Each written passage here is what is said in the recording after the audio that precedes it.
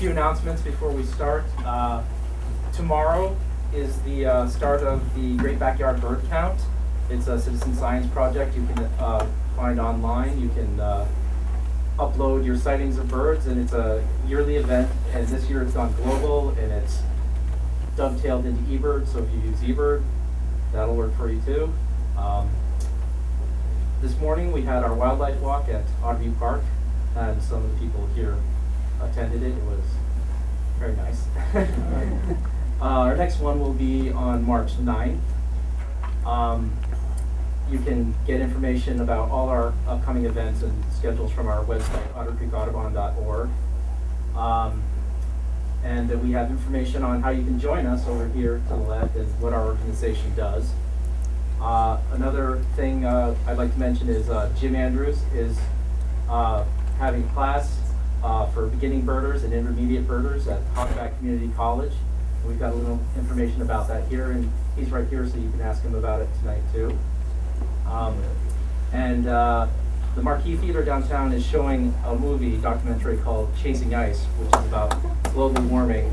And I think uh, it's a really important thing for people to see and learn about. So I, some people highly recommend it. So. Um, our speaker for tonight is Mike Winslow, a former uh, board member for Otter Creek Audubon Society, whose job, uh, one of his uh, yearly jobs was organizing this event, these uh, cabin fever lectures, and uh, I hope we'll be able to muddle on without him next year.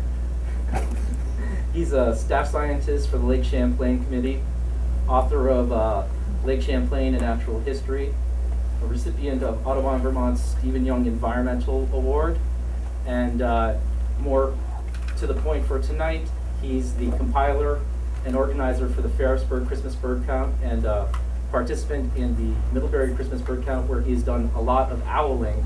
So turn it over to Mike Winslow, Owls of Vermont. Thank you, Ron. So how do I get, Ron, how do I get out of this? Escape. Okay.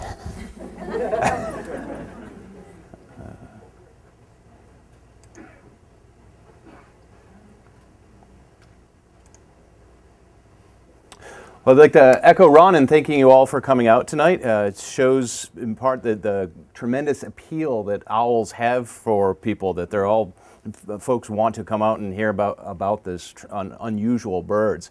And so when I had the opportunity back in about 1998, Jim Andrews called me. I'd been participating in the Christmas bird count in Middlebury for a year or two at that time, was still cutting my teeth in the area. And he said, Mike, we lost our owls, owlers for the year. Would you be interested in doing it? And I was like, yeah, I guess so. And they're owls. Yeah, I want to hear them, but you know, what do I have to do? Well, you got to get up at midnight and play a tape and listen for the birds. And that's what I did that year, and I've been doing it ever since then for both the Middlebury count and also the Ferrisburg count. And off and on, I've done it for the Hinesburg count and um, I missed one. Middlebury, Ferrisburg, Hinesburg, and Mount Abe count as well. I've also did a little bit of owling for the uh, breeding bird survey a couple years ago, but really that's it. That's the extent of my uh, experience with this. I once described Randy Duran, my predecessor, uh, uh, owling in the Middlebury count, as a really good owler, and the person I was with said, "What's that mean?" Did, do you get up at midnight, you play a to owls? It's just actually trying to do it. So, start with the question of the observation what is an owl? What makes these birds uh, owls? And a couple of things, uh, they, they're highly adapted to be nocturnal predators. Large eyes, excellent hearing, and a, a bunch of other features that direct that uh, compensate and, and augment those abilities, including this facial disc of feathers, which funnels sound towards their ears and, and augments their ability to hear, and also these rictal bristles around the nares that make them owls in, in particular. You would think, and, and I would think without doing any research, uh, that an owl, because it's a predator, because it, sh- it shares so, so much of a niche overlap with hawks, that it would be closely related to these other raptors. In fact, most of our, our owls have a counterpart that hunts in the same habitats during the daytime. Wherever you see a great horned owl, you might find a red-tailed hawk during the day. Wherever you see a northern harrier, it's the a somewhat appropriate habit for a short-eared owl.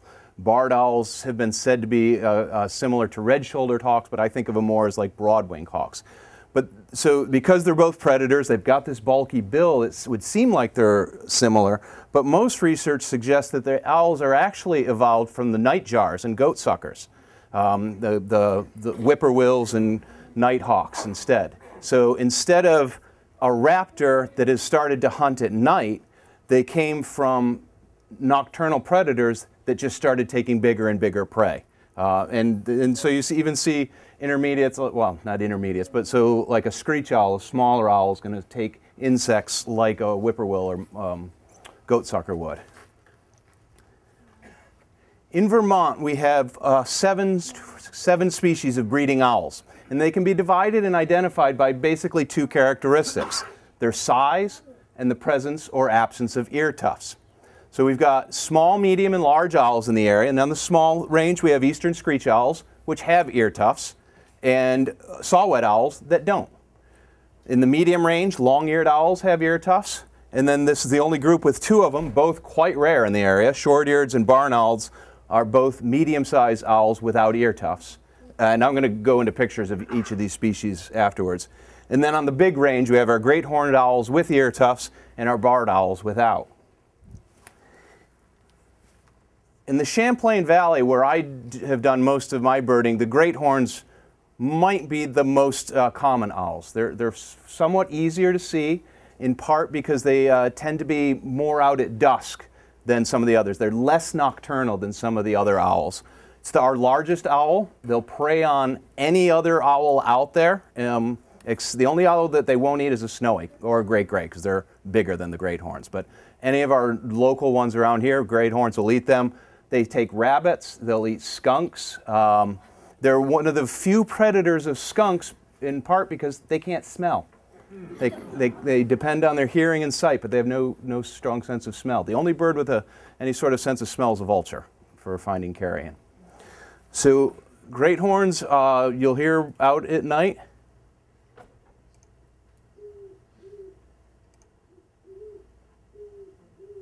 Is that loud enough?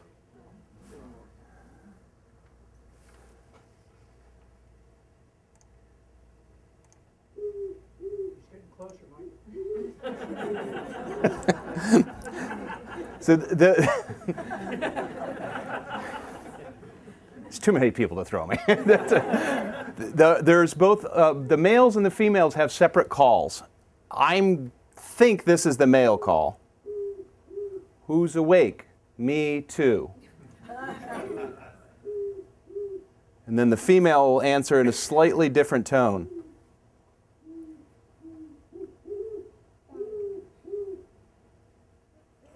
That's a, so that was a female followed by a male. Male. But who's awake? Me too. That's how you, you can remember which one is the great horned owl. Those are their common call, calls. That's what you'll hear during the winter when they're establishing their uh, territories, when they're seeking out mates. But you'll also sometimes hear, uh, I've only on one occasion heard um, the, young, the call of the young as they're uh, communicating with the parents. Just a, a, harsh little screech. It can actually carry quite far, though. I, uh, I had the privilege when I was living in Weybridge, there was a great horned owl nest in the woodlot right behind us. I managed to find it in February, or early February, right about this time of year. The owls will have laid it, will be laying eggs now. They're sitting on the nest. They've established their pair bonds, established their territories. They'll incubate for uh, eight to ten, uh, oh, I forget the details, sorry, six or eight weeks, I think. That sounds too long. They'll incubate for a period of time. the young hatch, uh, and I was able to, because I, the, the, the nest was right on the edge of the field, I would go back every week with a scope just far enough away so I wasn't disturbing them and just check on the progress of the nest. And you see first one owl head pop up and then a second and a third. They ended up fledging three young. And around May when I did the um, birdathon that year, the young were just off the nest in the trees around us, little downy colored, uh, downy, still in their down, but off the nest, flying around, waiting for mom and dad to bring them some food. Uh, it is typical among owls that both the male and the female will feed the young and tend the nest. Uh, it's not true in all bird species by any means. Um, anything else about great horns? Owls, the, I, most of the owls that I've ex- had experience with in my life, I've heard. They've responded to callbacks of, tapes. Rarely have I seen them. When you do see them during the day, one of the most successful ways I've had of finding them is following crows, chickadees, or other birds that will mob the owls and try to drive them off their territories.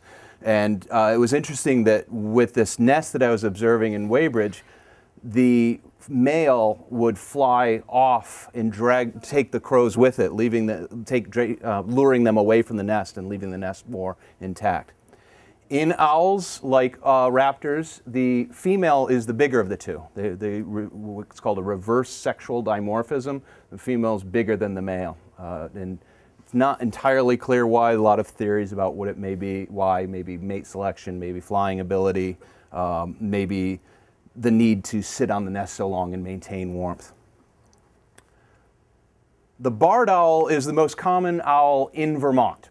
Uh, and it's a more animal of the woodlands. I said the great horn's more common in the Champlain Valley because we've got this mix of fields and forests. But as you move more into the inlands and into the, uh, away from Lake Champlain and into the mountains, the barred owl becomes much more common. And, and they'll be down in the Dead Creek area and down on the shores of the lake and some of the pine forest down there as well.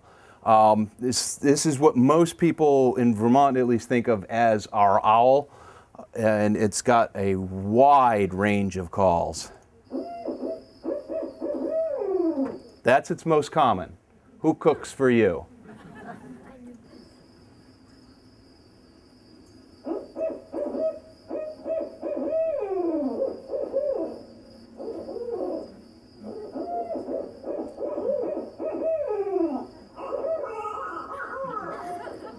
That's just the beginning of what you'll hear out of those guys. They'll go back and forth. When you get more than one of them going back and forth, they'll go through a wide range of calls. Um, one of my most frightening experiences owling had to do with a barred. I probably gave away the punchline. The year before uh, this event, we, I'd been out of the Christmas Scout with Rodney Olson back, who's going to answer all my questions for me. And we stopped in this little hollow on uh, Town Line Road between Addison and Bridport. This is the year before any the story I'm going to come to. It's one story leading to another. And it was, we we're having some trouble owling that night because there was a party in the house up on the hill. And the people at the party had seen us there, and they came down, and they weren't real friendly.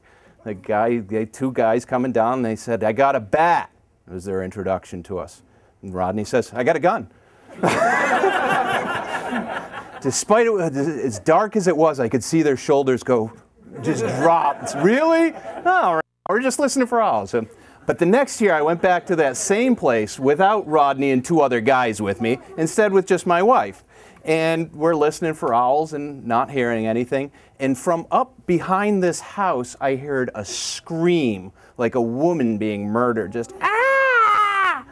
That was my first encounter with the uh, barred owl scream, which I've heard since then. But that I wasn't sure what I was hearing there. We decided to leave fairly quickly, and our total for the, the year might have been a bit low that time. So yeah. The eastern screech owl is probably my favorite of the owls. It's the one I work the hardest to get in the Champlain Valley.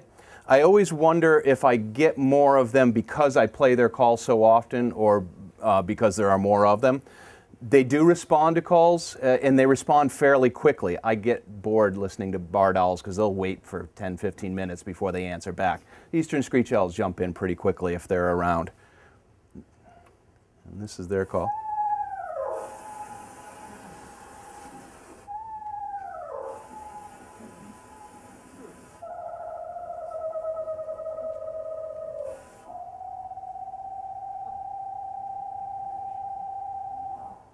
So they describe that as the whinny and the bounce.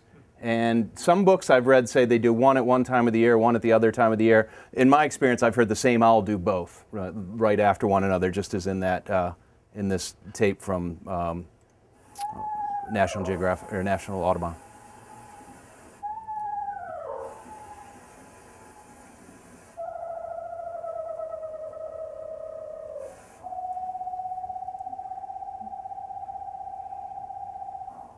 And I've had success hearing uh, eastern screech owls in small woodlots with fields around them, uh, viney covered areas. If you get too much woodland around you, I don't know if they're not there or if the woods interfere with the sound, but I don't get as many of them. It's usually on the edges of the forest that they'll respond to the calls for me. Um, they don't need a lot of trees, but they are like, like the barred owl before them. These guys nest in cavities of trees. Uh, great horns will use old crow or red tail nests, but a lot of owls are, are, cavity nesters, and so they need trees that are old enough and big enough to have those cavities in order to, to have a territory around. Screech owls come in two color phases, a gray and a, a red. Um, and these are just, they're, they're genetically determined, just kind of like a rough-legged hawk. If you're familiar with rough-legged hawks, they have a dark phase and a light phase. Um, the gray phase tends to be much more common in Vermont than the red phase, but I have seen red phase birds. Uh, there was a nesting, there was a, I was down in DAR State Park during the Breeding Bird Atlas, and there was a pair of red phase owls uh, hanging out near the site that I was camping at. Um, there's not, folks don't really understand well the distribution of red phase and gray phase. The one theory I've heard, and I've also heard some count, counter to it, is that red phased birds are less tolerant of cold, which may be one of the reasons that we have uh, more gray phase up here, that they have a, a, lower thermal tolerance, and so they tend to be uh, more of a southern version. Uh, there are some problems with that in that red phases aren't common along the Gulf Coast. The gray phase are more. But that's, that's the only possibility that makes sense that's been brought forth so far that I've seen. Our other little owls, the northern saw-whet. This is more a bird of higher elevations. I think of it associated with conifer forests more than deciduous forests, although the books, the, the guidebooks suggest that I should be looking them in, looking for them in deciduous forests more often. They, I, I haven't found them there, but they, they're supposed to be there. Um, and their voice, their call is said to be sound, sound like the sharpening of a saw or the whetting of a saw.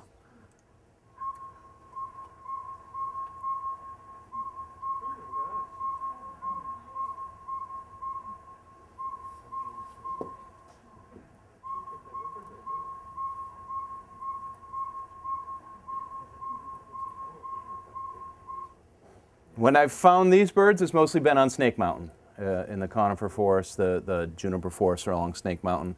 Rodney does banding of them on Snake Mountain. They are migratory. Uh, he, Rodney's caught birds here that were banded in Thunder Bay, Ontario or Maryland, so they're moving all over the place. Um, also a cavity nester, uh, will survive mostly on rodents. Uh, yeah, most of the owls we think of as being sedentary, but the saw-whet, uh, the it, well, the small the screech owl we think of as being sedentary. The great horned is sedentary.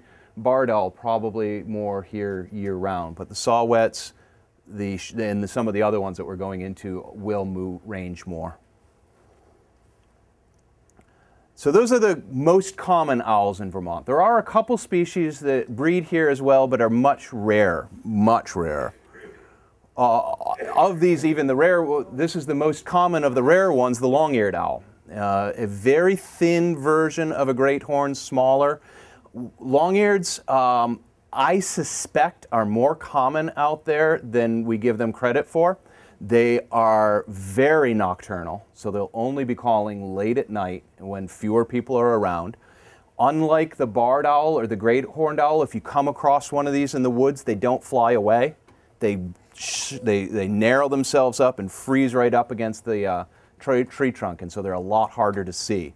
I've had the fortune of seeing a couple of them flying at night, but I also saw two of them uh, during the daytime. One was on a Christmas count in the Mount Abe Christmas count, was in the cemetery in Bristol. Uh, got out of the car and it was being mobbed by chickadees. And uh, the compilers questioned me on that quite roundly because and rightly, because I didn't know how rare they were at the time, but I was able to see that this, uh, I described this facial disc here, the orange facial disc contrasting with a brown body is distinctive of either the long-eared or the great horned. And then the size just says that it was much smaller than a great horned would be. The long-haired, ha- long-eared has a series of calls as well. The most well-known is its breeding call, which you'll hear mostly in the spring. And my, my tape's not that good. A single, loud, hollow, separated by five to eight seconds in between them. So they, they, they, I've, I've heard them that same place where I heard the scream in Addison and uh, had the friends with the clubs show up. The, there was a breeding long-eared in that vicinity during the breeding bird atlas. But they also have a series of calls, most likely in distress or to warn off um, warn off predators or something, or th that sort of thing, which is much more distinctive.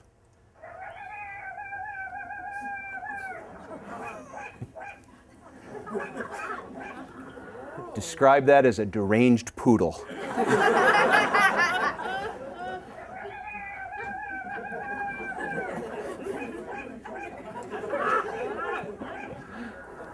I've had good luck actually finding long-eareds um, at the Slang in Ferrisburg on Slang Road. Uh, they've, they've, been spending a couple winters there. A couple different times I've had them there. Not this year, but if you get a long-eared once every five years, that's pretty good. And I've had two of them at the Slang in the last seven or eight years.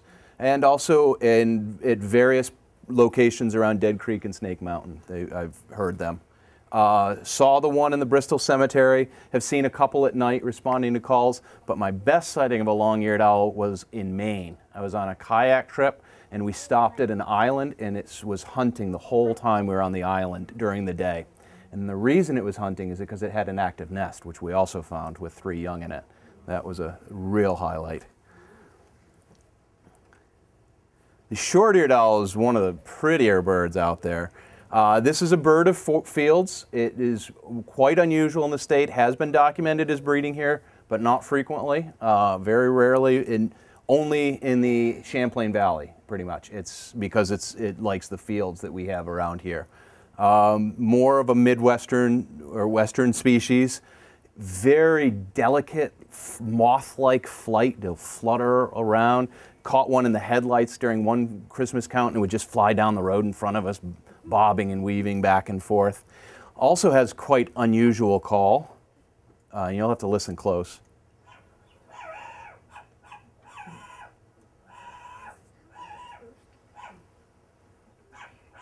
That wah, wah is the thing that you're most likely to hear. And I've, I've occasionally gotten out of the car and just heard that wah, wah, or had it respond. Um, the first year we did a Christmas count, my wife and I were at the end of the day, we're heading from where we were living in Weybridge to Jim's house in Shoreham? Uh, no, Bridport, just in the edge of Bridport. And we saw this bird drifting over the fields as we drove by and slammed on the brakes. I think I, my wife may have cut her head on the windshield. Uh, hopped out of the car, perhaps it had stopped moving, and tried to get a look at it because I wasn't positive. It could have been a great horn. Started playing the tapes, nothing, nothing, nothing. Eventually had to go back came back later and played the tapes and got that wham wham response. So he ended up with a short ear that night.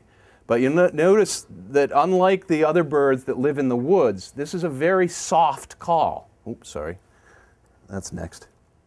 It's, it's a very, it's not, not as loud.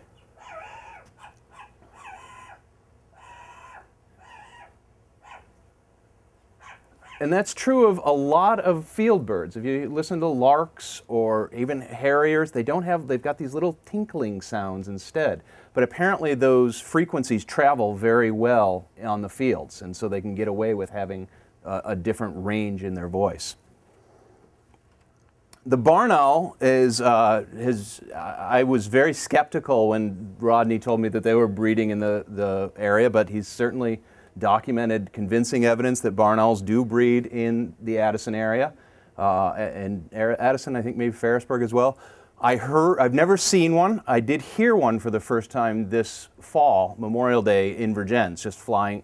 I, I, think it was flying over. I didn't see it, but I heard it twice on two occasions in flight. Um, but its screech is somewhat similar to that screech of the young great horns. That's the closest thing I can um, uh, compare it to. The barn owls have uh, pretty close to worldwide distribution, but they're decreasing in frequency in the United States, although they're maybe moving north now with climate change or, or what have you. They are, um, they are in a separate family from the other owls. There's, the, there's two families of owls, the Tytonidae and the Strigidae, and their differences have to do with some of the bone structure in their ears. But these guys, there's been a lot of experiments done with their hearing. They've got tremendous hearing, um, ability to detect mice at great distance, and, and blinded owls can still hunt because their hearing is so good. Um, but yeah, these are they're they're quite nocturnal as well, and nest predominantly, as their name suggests, nowadays in structures. There's some suggestion that in their native habitats prior to a lot of structures that they would nest in cliffs, but usually nests today are found in barns or other abandoned structures. And then, so that's it for the breeding birds in our area. But we do in the winter occasionally get some rare, very rare owls that will come here either due to population crashes of uh, rodents to the north or cold temperatures so that they have trouble hunting. So there is the possibility of finding, finding others. The boreal owl is essentially a slightly larger saw-whet. Same habitat distribution, just a little bit further north and a little bit bigger, and the calls are similar. The songs are similar.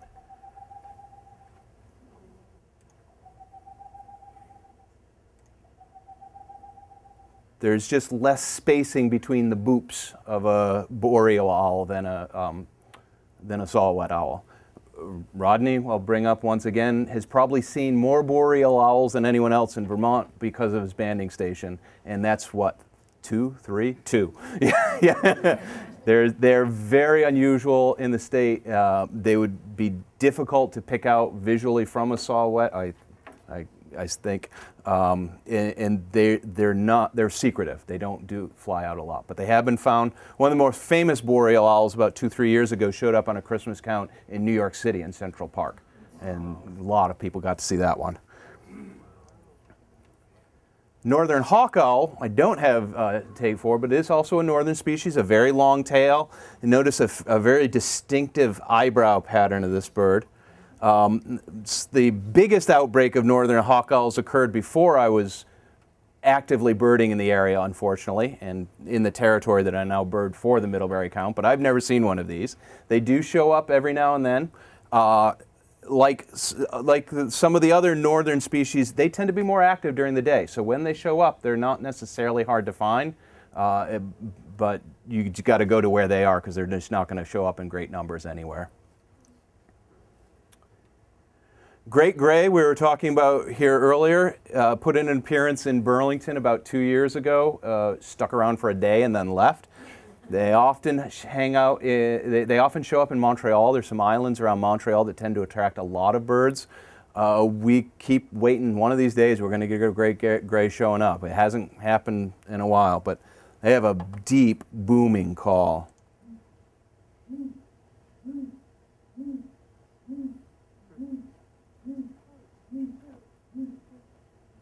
Again, will tend to be uh, uh, often out more in the daytime, especially if they're ranging uh, in our area, but certainly more a, bird of the western mountainous area. And then everybody's favorite, the snowy owl, the Hedwig of Hogwarts fame. Uh, I've heard more people claim to see snowy owls than are surely than there are snowy owls in the area. And a couple of things that tell that I'll ask when you, I hear someone say that they've got a snowy owl. First, did you get a look at the eyes? No, snowy owls have yellow eyes, as opposed to a barred owl, which has dark eyes. And a barred owl will can be very light colored, and so you, it, it, would be easy to think of a barred owl as a snowy. But if you get a look at that eye color, you're not going to make that mistake. The other is where did you see it? Because snowy owls are birds of fields.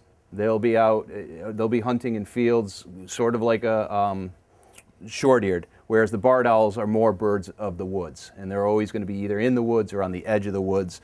Uh, snowy owl, you're not going to see deep into the woods at all. And snowy owl, again, like the hawk owl, is going to be more diurnal out during the daytime rather than active at night. I, when I first started birding back in college, I thought that I saw a snowy owl simply because I saw a large white bird at night. And I said, oh, it's an owl. It's got to be. What else could it be? I still don't know what that was, but I'm no, no longer confident that it was a snowy owl. It might have been a gull out flying at night for all I know.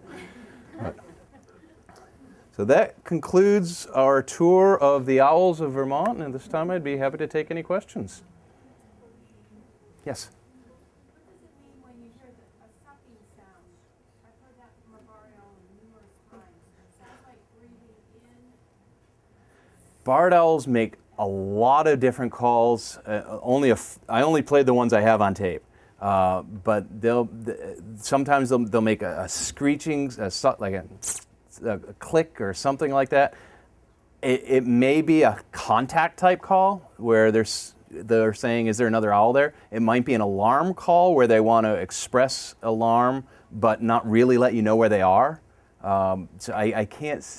There's a, a lot of vocalizations for all these species that people just don't know what it means. Yeah. You mentioned mice, mice, skunks, and then sometimes owls eat each other. Yeah. What is the other variety of types of prey that uh, they're? It's largely size dependent. Uh, the smaller owls, particularly the screech owl, will eat some insect matter, grasshoppers. Uh, they, some of them will specialize more on birds. Um, saw-whets have been known to take birds. Short ears will take larks and such. Their main prey is going to be rodents, uh, mice and, and the bigger owls will take on rabbits, particularly a great horn. A rabbit's getting pretty big for anything smaller than a great horn. Barred might be able to do it as well. Um, rabbit, skunks, cats. Uh. Somebody said fish. There are some species of owls that are particularly adapted to hunting fish. Not here, but Indian fishing owls. And some of our species have been known to take fish, but it's not a common part of their diet. the great horn, great horns with fish. Yeah, yeah. It's, it's been documented for great horns, for screech owls as well. Uh, yeah. How do you deliver a call? Do you, How do I deliver a call? Are you doing it verbally or do you? No, I, I can try to do it verbally. I, I've successfully called in barred owl verbally, and I wasn't trying at the time, but uh, I was it, late in the day, Christmas count, trying to get a red-breasted uh, nuthatch because I didn't have it on my list yet. So I just started squeaking to pull in a bird and had a barred owl fly up next to me, which, which I'll take that instead. That's okay. Um, I did. I also was able to whistle in a screech owl once, but knowing my whistle and knowing what they sound like, I think he might have had a hearing problem. but mostly, uh, I used to play use a tape player, now I use an MP3 player with an external speaker. Um, I, I I've tried to lead people instead of doing indoor stuff, take them out to hear owls, but if you get more than three people with you, it's going to be really hard to find anything. And I tr- really try to minimize the amount of times that the play. It's not good for the owls necessarily. I only do it for Christmas counts when we're doing a survey of the birds or for the breeding bird survey. I, I don't do it just randomly. Question back? Um, call that sounds like a woman or a child screaming for their life. Is the barred the only one that does that? Only one that does that. I, well, there, there might be different screaming for your life versions, but the, the, the one that I heard was definitely a barred because once you make that realization, you can start to pick out some of the tones that will then become a Who Cooks for You or some of the other pieces. But if you're not picking out those tones, I wouldn't be surprised if a long eared could do something like that. But Barred's the one I'm familiar with that does.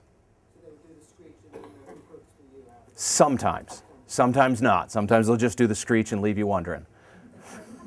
Can that ever be confused with a screeching coyote?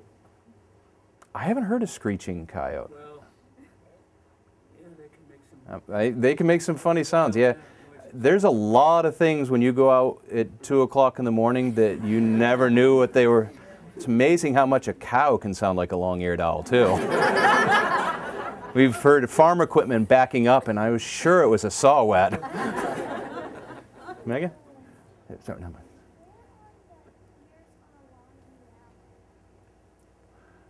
That's a two-part question. The, the, what they call ears for a great horned or horns aren't really ears. They're, they're tufts of feathers that stick up from the top of their head. and they can actually retract them or put them back up. But the long-eared ones are really long. But they aren't ears. Their ears are actually lower down in their head. Um, and it reminds me of a couple things I didn't say about their ears. Their ears are also asymmetrical. One ear will be higher than the other, and that allows them to distinguish the height of their prey. You know, how it's just just like we can see in 3D. A lot of animals can't see in 3D. We can because of the position of our eyes.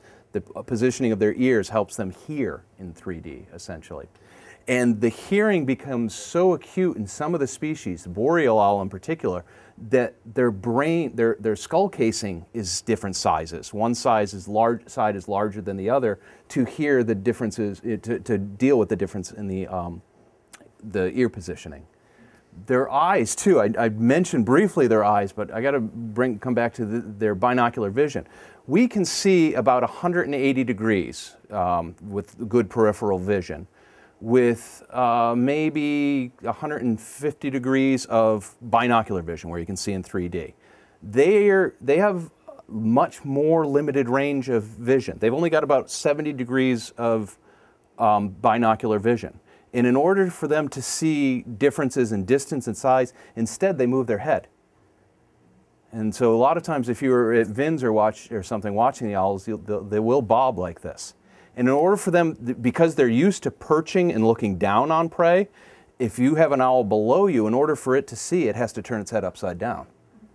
Um, and one of the things that allows them to do that is they have 14 vertebrae in their neck. And so that allows them to turn their head almost 180 degrees in either direction. So between that bobbing and head turning, they are able to get a full range of binocular vision, but it's, uh, it takes some work. It's not just, it's not automatic.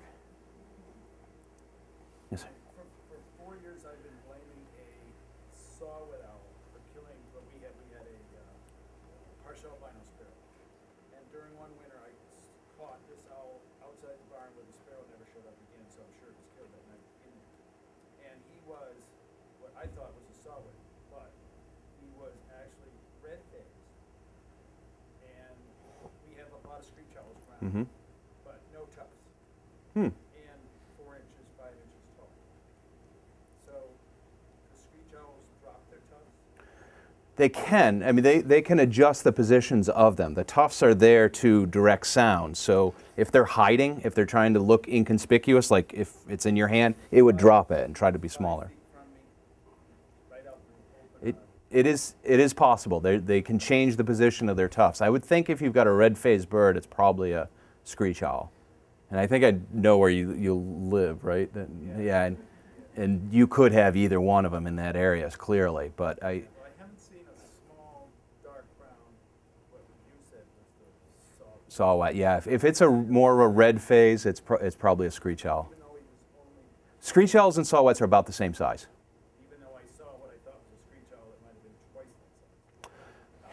Yeah. Uh, fluffing up feathers can make you look really big or really small. Yeah. And, and because of the, the way they change their head positions, they will crouch down or stand up. And I've seen that with sparrows too. You just, if they're cold and sleeping, they're tiny. And if they're, it's warm and they're out walking around, they look big. It's possible. I, I mean, you got conflicting evidence, tufts versus no tufts, but red phase, I think it'd be screech owl. Usually I would use the tufts to distinguish, so. They do have just a different jizz to them, just a general impression of size and shape, but I can't get that from a description as much. Yes, Kathy. So we used to have a cat that I, I sit here. No, I sit here. because my husband saw an owl like the next day at the end of our driveway, but how do we encourage an owl to want to on a property? How do you encourage an owl to? You, they're they're going to need it. Um, yep. If you're thinking of a barred, a saw-whet, or a screech in a breeding season, they're going to need a cavity. They're going to need a box, to, and you can put up boxes to give them a cavity to nest in.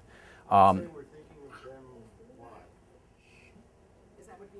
Uh, because the other alternative would be a great horn, and there's not much you can do for them. They're, they're, they're going to they're gonna use an old nest of a red tail or a crow instead of needing a nest box. If you give a nest box, of the right size and dimensions, and I don't have that information, but it's available online, they will sometimes use nest boxes. They will stay around? Uh, they can, depends on how bad the winter is. And I think up in Lincoln, you might have a hard time getting a screech owl, but maybe a saw-whet. Um, barreds are going to be bigger, so they're going to need different dimensions. Uh, and, and have lots of mice and rats around. That's often helpful. Yes. For years, we, we had the joy of having a pair of barred owls living up with us in Lincoln.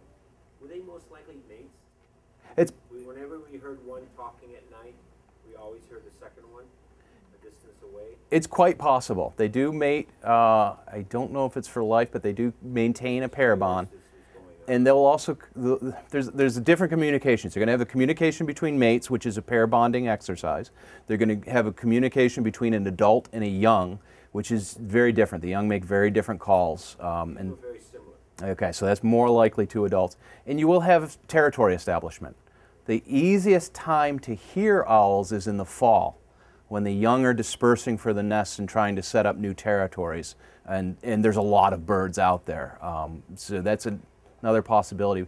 So I- guess the answer partially depends on what time of year you're talking. It seemed like it was year round, wasn't it, Janet? Pretty much? No. No? what do I know? But, but I would most likely guess in that situation that's probably a mated pair. Yeah. It's just such a joy. Will the great ones stay in the same territory or return to the same nest annually as they do? Uh, great horns are fairly uh, fairly compact. They will stay in the same general area. They may or may not use the exact same nesting area. My Weybridge owl did not come back the next year, uh, but they will be in the same area. They are likely to be in the same area as long as they're alive and as long as they can defend the territory.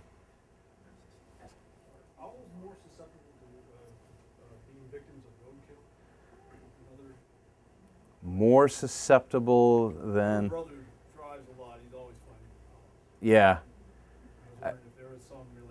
and sounds. Well, certainly from a driver's perspective, because they're out at night, they're harder to see. Um, I don't think I know that answer for sure, but it does make sense that because they're hunting by sound, the car is going to distract, di- dis- Car made a particular sound, i- i- or it may disrupt some of their ability to orient because if seen right, right here in the middle. yeah. Yeah, I, I, I've seen a lot of owl roadkill, but I've also seen hawk roadkill and other things, so I don't know if it's more than other birds. Yes. Can you talk a little bit about the difference in the call vocabulary in the barn owl between a mating pair and a territorial dispute? No. I, I don't know. I would say it's an area ripe for study. uh, I, I can say that I'm hearing owls, but I don't know necessarily what they're doing. Most of the ones I hear are responding to a call that I'm making, so they're, they're responding to a territorial aggression or saying, What's going on? What are you doing in my area?